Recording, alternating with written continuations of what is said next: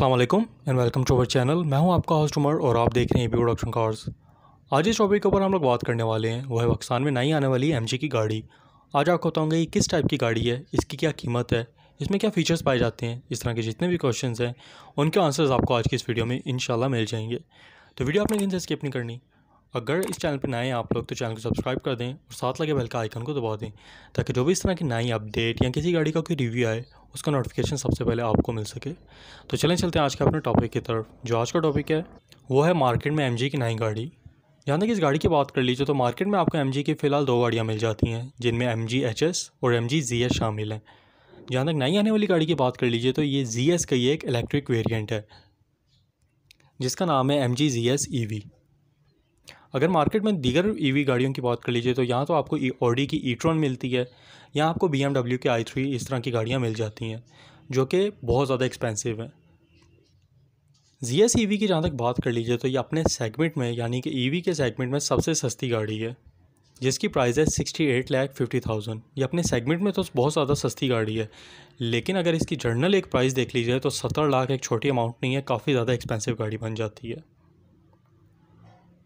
इसकी लुक्स और इंटीरियर आपको जीएस जैसे ही मिलेगा, बस ज़्यादा इनमें जो मेजर डिफरेंस है, वो ये है कि जी एस आपको इंजन के पेट्रोल इंजन के अंदर मिल जाती है, जबकि आपको ई e के अंदर आपको बैटरी मिल जाती है। जो इसके अंदर आपको बैटरी मिल रही है, वो तकरीबन मिल रही है फोर्टी फोर किलो वाट की, जो कि तकरीबन आपको एक सौ चालीस हॉर्स पावर प्रोड्यूस करके दे देती है। और इस बैटरी से आपको तकरीबन three fifty three newton metre of torque भी मिल जाएगा। गाड़ी के यहाँ तक लुक्स की बात कर लीजिए तो यहाँ पे भी आपको डी आर और इस तरह के ऑप्शंस वगैरह मिल जाते हैं क्योंकि सेम ही आपको जी एस ऐसी ही मिल रही है। फ्रंट में भी आपको गलेक्सी स्टाइल की इसकी ग्रे मिल जाती है, जिसके अंदर जो एमजी का बैज है, इसी के नीचे इसकी चार्जिंग डॉक है सॉकेट है और यहाँ से आप लोग इसको चार्ज भी कर सकते हैं। गाड़ी के इंटीरियर वगैरह की बात कर, कर लीजिए तो यहाँ पे आपको कीले सेंटी और इस तरह के ऑप्शन मिल रहे हैं।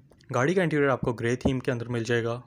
इस गाड़ी के तकरीबन आप एम जी ने 400 यूनिट्स पाकिस्तान में मंगवाए हैं।